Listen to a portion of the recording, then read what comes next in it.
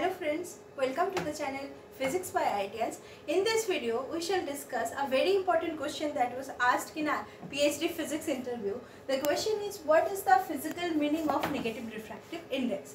So in earlier videos, we have discussed in details about the refractive index, the origin of refractive index, the physical significance of a refractive index, refractive index of a dielectric medium, refractive index of a metal.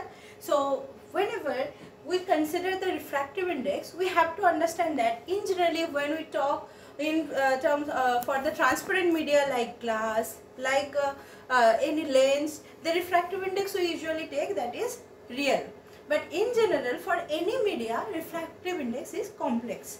So refractive index has two parts. One is the real part and another is the imaginary part.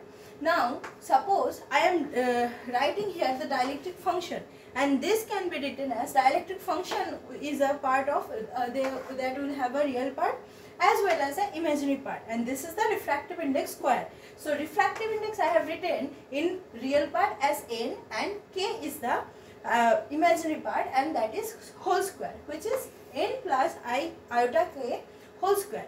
Here n is the real part of the refractive index it gives us the reflection part and K is the absorption part of that refractive index or absorption part of that media that denotes the imaginary part of the refractive index. So, if you write the real part, we can solve it, uh, we can write this real part of the dielectric constant equals to n square minus k square and imaginary part of the dielectric constant equals to 2nk.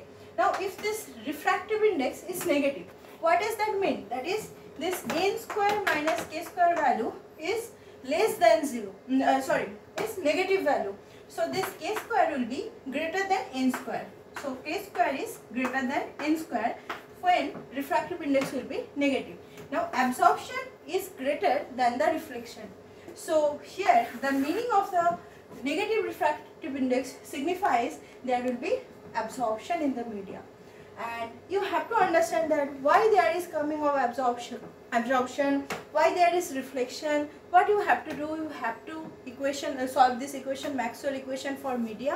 As well you have to understand that wherever a time varying electromagnetic field is incident on a media what is happening you have to understand the motion of the electronic cloud with respect to that uh, incident electric field and you will get certain equations and from that you can value get the value of refractive index which will be complex. So the physical meaning of negative refraction may, refractive index means there will be much more absorption for that particular optical frequency.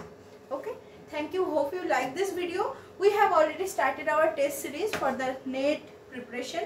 So as soon as possible you can join in our test series that is within a minimum cost only 250 rupees for full length test series and subjective full length both are available at only 799 rupees and we also provide interview guidance to make you understand the concept of physics and to mm, get admission in different IITs and research institutes.